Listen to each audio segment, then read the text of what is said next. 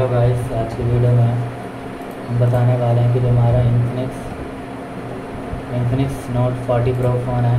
तो Infinix Note 40 pro phone की settings पे जाकर कैसे अपने फ़ोन में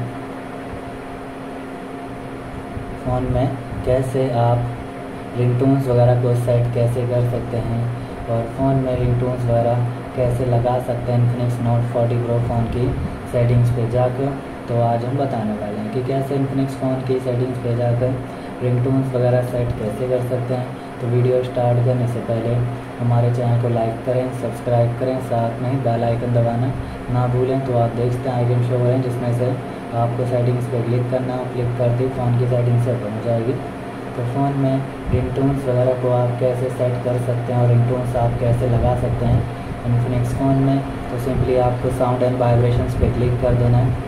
तो जो आप साउंड एंड वाइब्रेशंस पे क्लिक करते हैं तो क्लिक करके रिंगटोन्स वगैरह को सेट कर सकते हैं। आपको रिंगटोन्स गैलरी पे जाना है, जो भी रिंगटोन सेट करना है तो आप कर सकते हैं इस तरीके से।